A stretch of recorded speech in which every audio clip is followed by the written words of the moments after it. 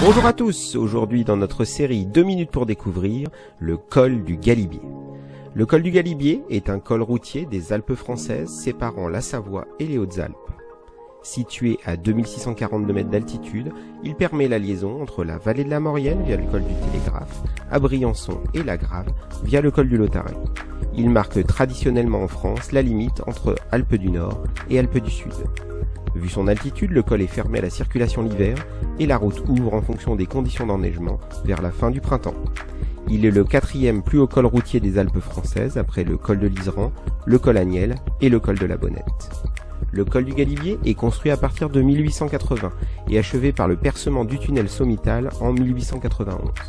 Le tunnel était alors le seul point de passage et ce jusqu'en 1976.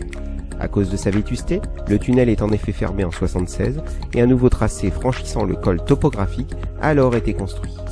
En 2002, le tunnel rénové a rouvert au trafic automobile, mais reste interdit aux cyclistes qui doivent franchir le vrai col et ne peuvent pas escamoter le dernier kilomètre, le plus dur de l'ascension avec des pentes de près de 11%.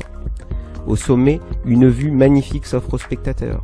On peut voir les glaciers de la barre des Écrins et de la Meige, le Mont Blanc, une des aiguilles d'Arve, le pic de Rochebrune et enfin le Grand Galibier.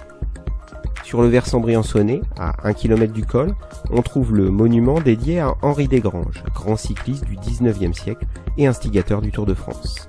Henri Desgranges s'exclama d'ailleurs au passage du col Devant ce géant, il n'y a plus qu'à tirer son bonnet et à saluer bien bas.